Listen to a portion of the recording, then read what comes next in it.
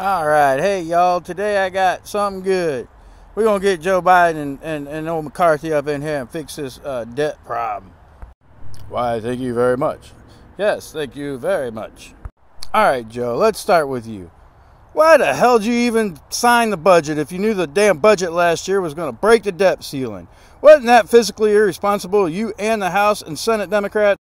Well, you see, what we did with the money was we built back better we had the infrastructure plan, we had all the COVID spending, and we had to support the war with Ukraine. So the matter of spending wasn't the problem. The problem's the limit. No, Joe, it is not the fact of the money used.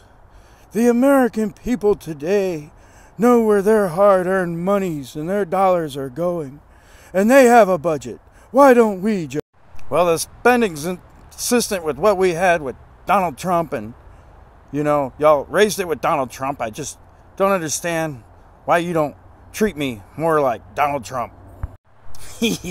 I'm always in your head, Joe. Always in your head. Oh, oh my God. What, what's going on here?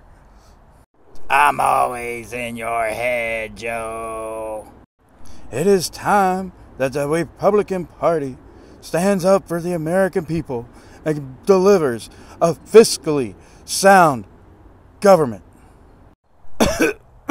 Kamala. Kamala. Now listen, Joe. The American people, we're ready to shut this government down. If we have to shut it down, we'll shut it all down. It's all going down. Kamala, that's what she said.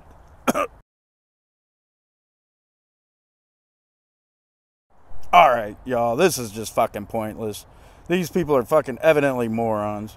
You got one guy who, damn, I just, I don't even know what the hell. And the other guy's just like, shill. It's obvious none of these assholes really give a shit because it's not their money, it's your money. And they're just going to keep spending it and keep saying, oh, we can just spend more and more.